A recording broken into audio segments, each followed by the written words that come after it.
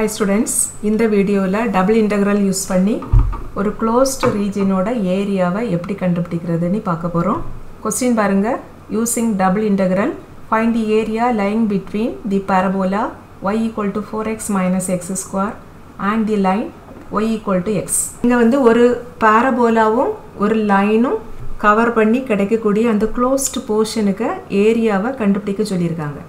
Area கண்டுபிடிக்கிறதுக்குள்ள formula என்னன்னா double integral of dx dy or double integral of dy dx இதில் நீங்கள் எந்த ஃபார்முலா யூஸ் பண்ணாலும் உங்களுக்கு சேம் ஆன்சர் தான் கிடைக்கும். சப்போஸ் ஃபஸ்ட்டு ஃபார்முலா சூஸ் பண்ணீங்க அப்படின்னா ஃபஸ்ட்டு வந்து எக்ஸுக்கு லிமிட் கண்டுபிடிக்கணும் தென் ஒய்க்கு லிமிட் கண்டுபிடிக்கணும்.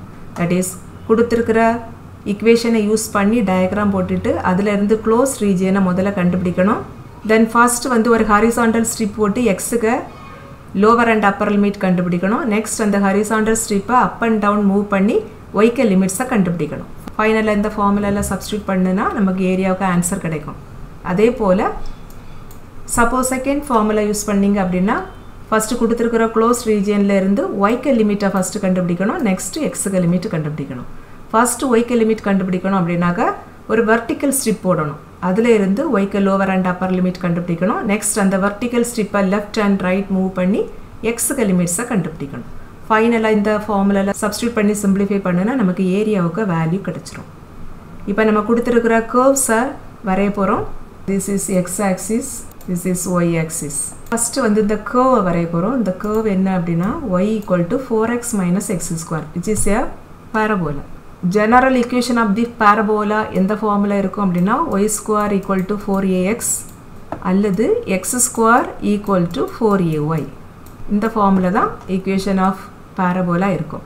ஸோ ஃபஸ்ட் வந்து கொடுத்துருக்குற அந்த இக்குவேஷனை இந்த ஃபார்மில் ஏதாவது ஒரு ஃபார்முக்கு நம்ம இப்போ மாற்ற போகிறோம் தட் இஸ் ஒரு சைடில் வந்து ஒய் ஸ்கொயர் டேம் மட்டும் இருக்குன்னா ரைட் சைடில் எக்ஸ் டேம் எல்லாம் இருக்கும். அல்லது ஒரு சைடில் எக்ஸ் ஸ்கொயர் டேம் இருக்கும் அடுத்த சைடில் ஒய் வேல்யூஸ் இருக்கும். இந்த ஃபார்மில் நம்ம இப்போ மாற்ற போகிறோம் ஸோ ஃபஸ்ட் வந்து கொடுத்துருக்கிற equation எழுதிப்போம். That is y equal to four x minus x square so இதை நம்ம வந்து x square equal to four a y அந்த ஃபார்மில் மாற்ற போகிறோம் பிகாஸ் இங்கே ஒய்க்க வேல்யூவில் பவர் டூ இல்லை. எக்ஸுக்கு தான் பவர் டூ இருக்குது. ஸோ இந்த இக்குவேஷனை நம்ம x square equal to four a y அந்த ஃபார்முக்கு ஃபஸ்ட்டு ரீஅரேஞ்ச் பண்ண போகிறோம் ஸோ அதுக்கு என்ன செய்யணும் அப்படின்னா இந்த ரைட் சைடை வந்து ஒரு பர்ஃபெக்ட் ஸ்கொயராக மாற்றணும் ஸோ இங்கே நம்ம இந்த ரைட் சைடில் எக்ஸ் ஸ்கொயருக்கு சைன் வந்து மைனஸில் இருக்குது. ஸோ நம்ம வசதிக்காக இதை ப்ளஸ்ஸாக மாற்ற போகிறோம் ஸோ அதுக்காக நம்ம இந்த minus x square plus four எக்ஸை லெஃப்ட் சைடில் எடுப்போம். ஒய்யை வந்து ரைட் சைடில் எடுப்போம். ஸோ நம்ம இந்த இக்குவேஷனை எப்படி எழுதிக்கலாம்னா x square minus four x equal to minus y இப்படி எழுதிக்கலாம். இப்போ நம்ம லெஃப்ட் சைடை ஒரு பர்ஃபெக்ட் ஸ்கொயராக மாற்ற போகிறோம் இப்போ இந்த லெஃப்ட் சைடை நம்ம எப்படி எழுதிக்கலாம்னா எக்ஸ் ஸ்கொயர் மைனஸ் இந்த ஃபோரை நம்ம டூ இன்ட்டு டூன்னு எழுதிக்கலாம். That is two into x into two நம்ம வசதிக்காக இப்படி எழுதிப்போம். ஸோ இது எந்த ஃபார்மில் வந்துட்டுன்னா a square minus two a b அப்படி இருக்குது. ஒரு பி ஸ்கொயர் டேர்ம் இருந்தது அப்படின்னா நம்ம வந்து இதை பர்ஃபெக்ட் ஸ்கொயராக மாற்றலாம் பிக்கு வேல்யூ டூ அப்படின்னா ஒரு டூ ஸ்கொயர் டேர்ம் வேணும். அதுக்காக நம்ம என்ன செய்ய போகிறோன்னா ஒரு டூ ஸ்கொயரை ஆட் பண்ணி அண்ட் அதே டூ ஸ்கொயரை சப்ராக்டும் பண்ணுறோம் அப்போ ஒரு சேஞ்சாக வராது ஈக்குவல் டு மைனஸ் ஒன் இப்போ இந்த x square minus two x into two plus two square இவ்வளோ சேர்ந்து நமக்கு எப்படி இருக்குதுன்னா a square minus two a b plus b square அப்படி இருக்குது that is a minus b the whole square அப்படி கிடச்சிது தென் இங்கே ஒரு டேர்ம் மைனஸ் ஃபோர் இருக்குது. That is minus two square இருக்குது. இதை நம்ம ரைட் சைடில் எடுத்தால் நமக்கு மைனஸ் ஒய் ப்ளஸ் ஃபோர் அப்படி கிடைக்கும். லெஃப்ட் சைடில் வந்து எக்ஸ் மைனஸ் டூவை நம்ம கேபிட்டல் எக்ஸ்னு வச்சுட்டோம் அப்படின்னா இது எந்த ஃபார்மில் வந்துட்டுன்னா capital x square equal to function of y அப்படி கிடச்சிட்டு. விச் இஸ் ஏ பேரபோலா இப்போ நம்ம வந்து இந்த டயக்ராம் போட போகிறோம் ஸோ எந்த ஒரு பேரபோலாக ரஃப் டயக்ராம் போடணும்னாலும் நமக்கு வர்டெக்ஸும் தெரியணும் அண்ட் அந்த பேரபோலாக டைரக்ஷனும் தெரியணும். ஸோ இப்போ நம்ம வெர்டெக்ஸ் கண்டுபிடிக்க போகிறோம் இந்த வெர்டெக்ஸ் கண்டுபிடிக்கிறதுக்கு என்ன செய்யணும் அப்படின்னா இந்த லெஃப்ட் சைடில் இருக்கிற இந்த ஃபேக்டர் இதுக்கு பதிலாக ஜீரோ போடணும். அதே போல் right side value equal to ஜீரோன்னு போடணும். அப்போ நமக்கு ரெண்டு ஈக்குவேஷன் கிடைக்கும். அதில் இருந்து எக்ஸ் அண்ட் ஒய்க்கு வேல்யூ கண்டுபிடிச்சிடலாம். இப்போ இந்த லெஃப்ட் சைடில் இந்த ஃபேக்டருக்கு பதிலாக ஜீரோ போடுறப்ப என்ன கிடைக்கும் அப்படின்னா x minus two equal to zero அப்படி கிடைக்கும். அண்ட் ரைட் சைடுக்கு பதிலாக ஜீரோ போட்டால் நமக்கு minus y plus four equal to ஜீரோன்னு கிடைக்கும். அண்ட் இந்த ஃபஸ்ட் ஈக்குவேஷன்லேருந்து எக்ஸுக்கு வேல்யூ கண்டுபிடிக்கிறதுக்கு இந்த மைனஸ் டூ ரைட் சைடில் எடுக்கலாம். ஸோ நமக்கு ப்ளஸ் டூவாக மாறிடும்.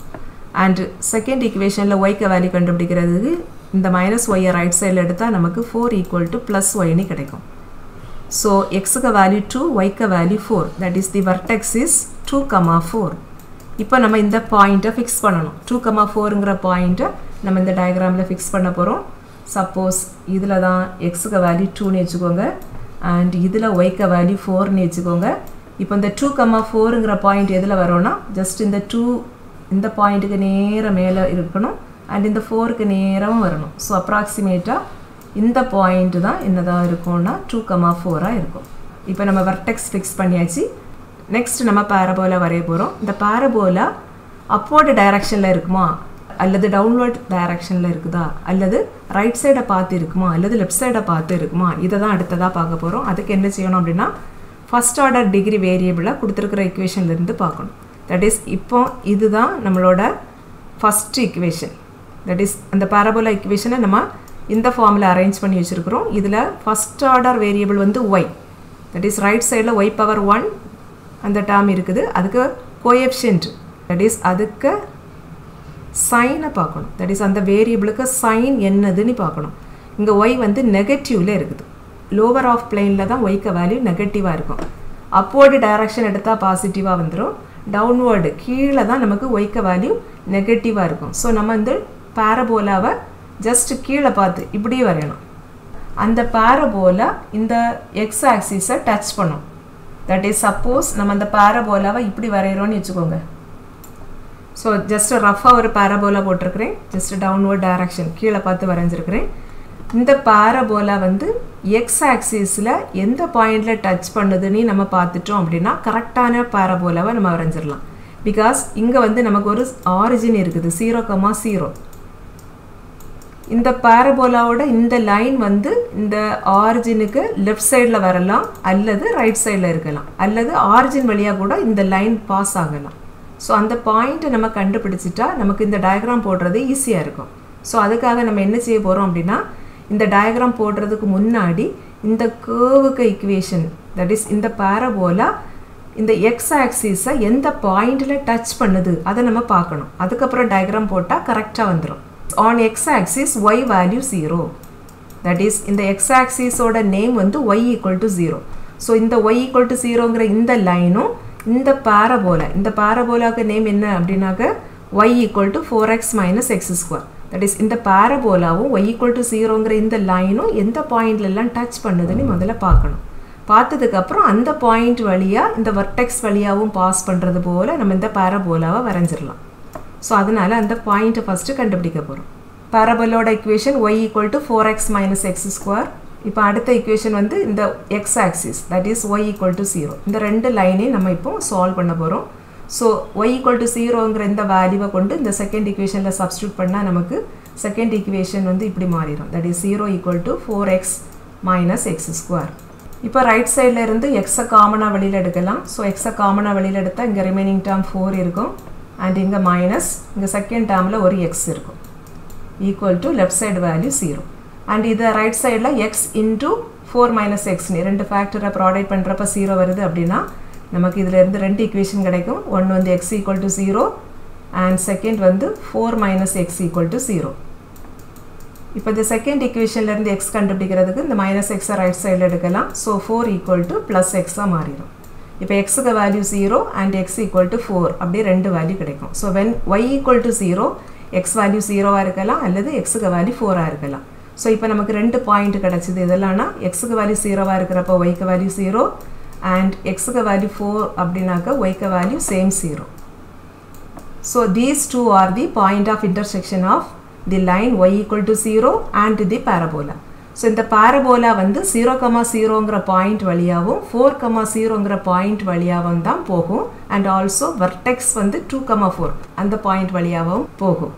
ஸோ இப்போ நம்ம வந்து ஜீரோ கமா ஜீரோங்கிறது அந்த ஆரிஜின் இன்னொரு பாயிண்ட் நம்ம இங்கே கண்டுபிடிச்சிருக்கிறோம். Four comma zero four comma ஜீரோனா suppose இந்த பாயிண்டில் தான் எக்ஸுக்கு value ஃபோர்னா so this is the point four comma zero இப்போ நம்ம இந்த பேரபோலாவை வரைய போகிறோம் நெக்ஸ்ட் நம்ம வந்து செகண்டாக கொடுத்துருக்கிற லைனை வரைய போகிறோம் இந்த லைன் வந்து ஒய் ஈக்குவல் டு எக்ஸ் இது எந்த ஃபார்மில் இருக்குது அப்படின்னா y equal to m x plus c அந்த ஃபார்மில் இருக்குது.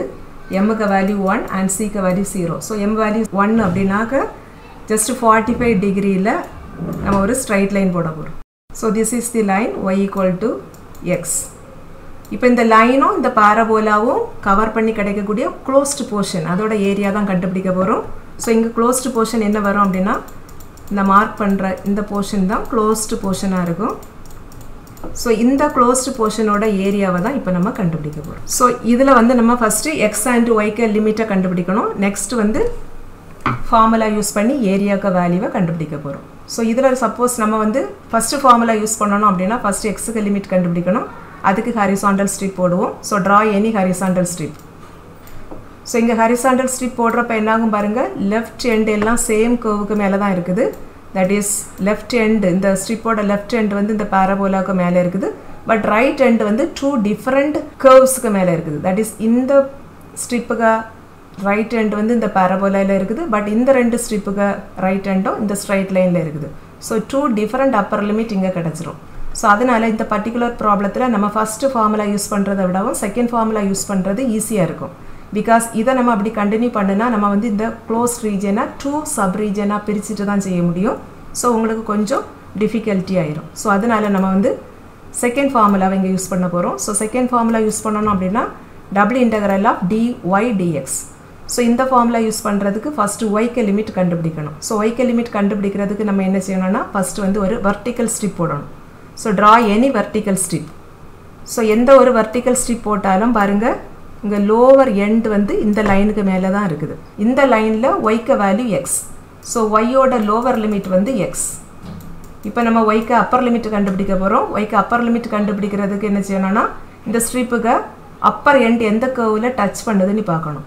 அண்ட் அந்த கேர்வில் ஒய்க்க வேல்யூ எதுவோ அதுதான் ஒய்க்க அப்பர் லிமிட் அண்ட் இந்த கேர்வுக்கு நேம் வந்து y equal to four x minus x square that is அந்த பாரபோலா இந்த ஸ்ட்ரிப்புக்கு அப்பர் எண்டு வந்து இந்த பாரபோலாக்கு மேலே தான் இருக்குது. ஸோ இந்த பாரபோலாயில் ஒய்க்க value four x minus x square so upper limit of y is four x minus x square இப்போ நம்ம எக்ஸுக்கு லிமிட் கண்டுபிடிக்கணும். அதுக்கு நம்ம என்ன செய்யணும்னா இந்த ஸ்ட்ரிப்பை லெஃப்ட் அண்ட் ரைட் மூவ் பண்ண போகிறோம் ஸோ இந்த ஸ்ட்ரிப்பை லெஃப்ட் அப்படி மூவ் பண்ணுறப்ப என்னாகும் பாருங்க இந்த பாயிண்ட் வரைக்கும் வரும். இதுதான் left end that is lower limit of x and இந்த பாயிண்ட்ல எக்ஸுக்கு value zero so lower limit of x is zero இப்போ நம்ம அப்பர் லிமிட் ஆஃப் எக்ஸ் கண்டுபிடிக்க போகிறோம் அப்பர் லிமிட் ஆஃப் எக்ஸ் கண்டுபிடிக்கிறதுக்கு இந்த ஸ்ட்ரிப்பை அப்படியே ரைட் சைடை நோக்கி மூவ் பண்ணணும். ஸோ இந்த பாயிண்டோட வந்து ஸ்டாப் ஆகும். அண்ட் இதில் எக்ஸுக்கு வேல்யூ எதுவோ அதுதான் எக்ஸுக்கு அப்பர் லிமிட் இந்த பாயிண்ட் நமக்கு தெரியாது but this is the point of intersection of this line and this parabola so இந்த பாரபோலா அண்ட் ஸ்ட்ரைட் லைனை சால்வ் பண்ணுனா நமக்கு இந்த பாயிண்டில் உள்ள எக்ஸுக்கு வேல்யூ தெரியும். ஸோ இந்த பாரபோலாக்கு equation y equal to four x minus x square and அந்த ஸ்ட்ரைட் லைனுக்கு equation y equal to x இந்த ரெண்டையும் நம்ம இப்போ சால்வ் பண்ண போகிறோம் ஸோ ஜஸ்ட் ஒய்க்கு பதிலாக எக்ஸ்ன்னு இந்த ஃபஸ்ட் ஈக்குவேஷனில் சப்ஸ்டியூட் பண்ணால் என்ன கிடைக்கும் பாருங்கள் x equal to four x minus x ஸ்கொயர்னு மாறிடும் அண்ட் இதிலேருந்து எக்ஸுக்கு வேல்யூ கண்டுபிடிக்கலாம். அண்ட் இந்த லெஃப்ட் சைடில் உள்ள எக்ஸை ரைட் சைடில் எடுத்தால் நமக்கு ஜீரோ ஈக்குவல் டு இங்கே ஒரு ஃபோர் எக்ஸ் இருக்குது. இந்த எக்ஸ் ரைட் சைடில் எடுக்கிறப்ப மைனஸ் எக்ஸ் ஆயிரும். So plus three x minus x ஸ்கொயர்னு கிடைக்கும். அண்ட் ரைட் சைடில் ஒரு எக்ஸ் காமனாக இருக்குது. ஸோ எக்ஸ் அவுட் சைடில் எடுத்தால் இங்கே ரிமைனிங் டேர்ம் த்ரீ இருக்கும். இங்கே ரிமைனிங் டேர்ம் ஒரு மைனஸ் எக்ஸ் இருக்கும் which is equal to zero that is இந்த ரெண்டு ஃபேக்டரையும் ப்ராடக்ட் பண்ணுறப்ப வேல்யூ ஜீரோ வருது அப்படின்னா first value equal to zero and the second factor equal to zero அப்படி ரெண்டு ஈக்குவேஷன் கிடைக்கும். ஸோ செகண்ட் ஈக்குவேஷன்லேருந்து எக்ஸுக்கு வேல்யூ கண்டுபிடிக்கிறதுக்கு இந்த மைனஸ் எக்ஸை ரைட் சைடில் எடுக்கலாம். So three equal to plus எக்ஸ்னு கிடைக்கும். ஸோ இங்கே எக்ஸுக்கு ரெண்டு வேல்யூ கிடச்சிருக்குது. That is zero and three இந்த ஆரிஜினில் மட்டும் தான் எக்ஸுக்கு வேல்யூ ஜீரோ வரும்.